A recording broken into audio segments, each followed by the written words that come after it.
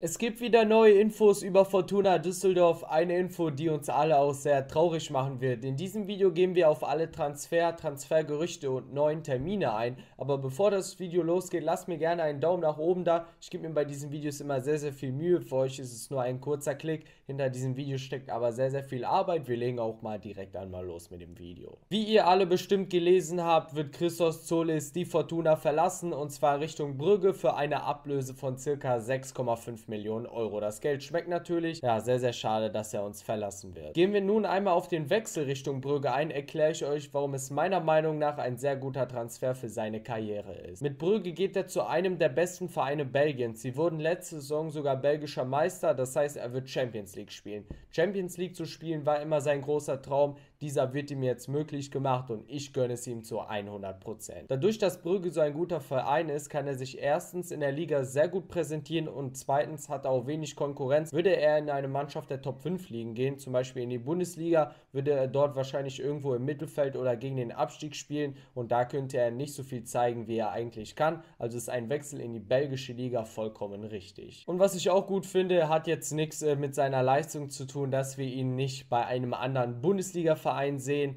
Das würde einem, denke ich mal, schon etwas das Herz brechen. Und was mich jetzt auch interessiert, ist, wer als Nachfolger von Christos Solis kommt. Oder vielleicht befindet sich dieser Nachfolger ja schon im Verein. Also mal gucken, wer da auf dem linken Flügel seine, ja, in Anführungszeichen, Rolle von Christos Solis übernehmen wird. Kommen wir nun zu den Transfergerüchten bzw. zum Transfergerücht. Es gibt nämlich nur ein neues Gerücht seit dem letzten Video und zwar ist es Balik Wischer, der 25-Jährige hat einen Marktwert von 2 Millionen Euro, spielt im zentralen offensiven Mittelfeld bei Standard Lüttich. Es gibt drei Vereine, die an ihm interessiert sind. Da haben wir zum einen den FC Schalke 04, die arbeiten schon seit April an einer Verpflichtung. Dann haben wir Fortuna Düsseldorf, sie sollen auch an ihm interessiert sein, haben auch angeblich schon ein Angebot abgeschickt. Und dann haben wir noch Nijmegen aus den Niederlanden. Da gibt es auch eine spannende Info und zwar berichtet das Sascha Tavolieri, dass das Management von Balik Wischer und Nijmegen schon im Austausch stehen. Beide haben sich schon kontaktiert und wollen sich auf einen Wechsel einigen. Aber ob dieser Wechsel stattfindet, das wissen wir natürlich nicht, denn der FC Schalke 04 bemüht sich auch um einen Transfer. Kommen wir nun zu Fortuna Düsseldorf, dadurch, dass Solis ja jetzt zu 99% geht, haben wir wieder finanzielle Mittel und einen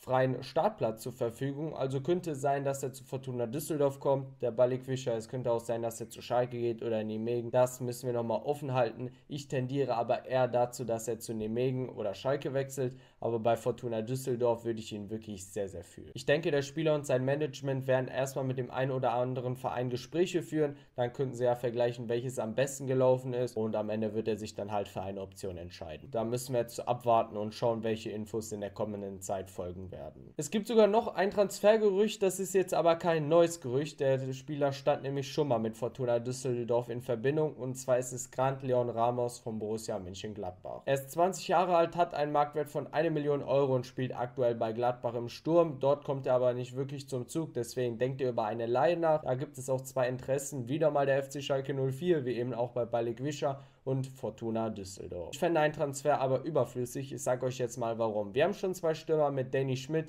Der ist, denke ich mal, sozusagen Backup-Stürmer, aber der kann natürlich auch völlig rasieren. Da müssen wir aber schauen, was er in der zweiten Liga zeigen wird. Und für Mel, der hat letzte Saison ja, eine Zeit lang sehr gut gemacht, mal nicht, aber Vermey ist meiner Meinung nach kein schlechter Stürmer. Wir haben also grob gesagt schon zwei Stürmer und einen dritten Stürmer, von dem du nicht weißt, was du zu 100% bekommst, würde ich nicht verpflichten. Ich würde einen Stürmer verpflichten, der viele Spiele letzte Saison absolviert hat, seine Scorer gesammelt hat und wenn du den kaufst, dann weißt du wirklich, was du bekommst. Natürlich gibt es immer das Risiko, dass er floppt, aber wenn du jetzt einen Spieler holst, der kaum gespielt hat, da kannst du auch nicht viel von erwarten. Dann habe ich noch einige Infos zum Trainingslager für euch. Das Trainingslager findet vom 11. bis 19. Juli in Oberösterreich statt und es gibt schon zwei Testspielgegner. Da haben wir einmal am Freitag, den 12. Juli um 17 Uhr die erste Partie und zwar gegen Diosgyori, das ist irgendein Verein aus Ungarn und dann mein persönliches Highlight am Montag, den 15. Juli ab 19.30 Uhr gegen Galatasaray. Ich denke mal, die Mannschaft kennt ihr alle aus der Türkei.